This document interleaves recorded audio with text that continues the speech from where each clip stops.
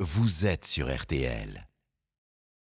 Le surf de l'info. Cyprien Sini. Cyprien, vous surfez avec Bruno Le Maire au Salon des Entrepreneurs. Et on va pas se mentir, c'est vrai que dit comme ça, ça fait pas rêver. Pourtant, Bruno Le Maire qui débarque au Salon des Entrepreneurs. Oui, ça vaut largement les One Direction dans un collège. C'est l'émeute, les amis, parce qu'il a ses fans, Bruno. I'm sexy and I know it. Venez, venez, on va faire une petite photo. On vous aime beaucoup. Oui, bon, enfin, il en a une de fans, au moins. Un Bruno Le Maire, tout en décontraction, qui en arrivant sur scène n'a pas manqué de rendre un vibrant hommage à ses équipes. Bien, bonjour à tous.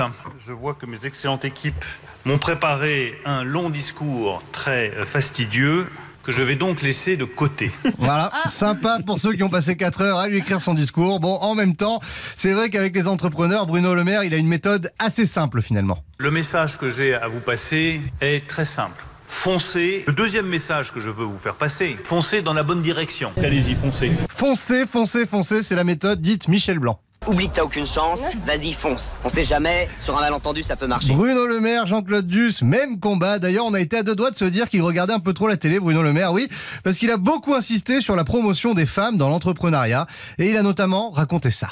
Qu'une femme entrepreneur puisse aller voir un banquier et que ce banquier ou ce financeur puisse encore lui dire où est votre business plan, j'imagine que c'est votre mari qui l'a fait, c'est tout simplement inacceptable. Oui. Et cette anecdote de la femme entrepreneur avec le banquier qui lui dit qu'elle n'a pas fait elle-même le business plan, elle a quand même un air de déjà vu. Ça vous dit rien Mais si, il y a une pub qui passe en ce moment à la télé pour une banque ou comme par hasard. On a dit à Margot. Et le business plan, vous l'avez fait toute seule Comme une grande Ça alors Et là, on se dit qu'il récupère son exemple dans une pub télé.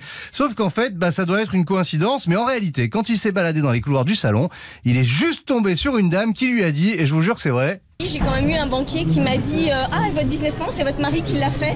Voilà. C'est ce que je voulais dire. Donc, euh, donc, effectivement, Incroyable. Hein D'ailleurs, ça avait l'air tranquille pépouze, hein, cette petite balade au salon des entrepreneurs, quand tout à coup, pour Bruno Le Maire, le salon des entrepreneurs, c'est devenu... Colanta. Oui, au détour d'une allée, il s'est retrouvé au stand insectes à manger, comme l'épreuve dans Colanta. Et là, il a tenté la diversion, écoutez bien. Tout ça, je connais ça. Le laisser.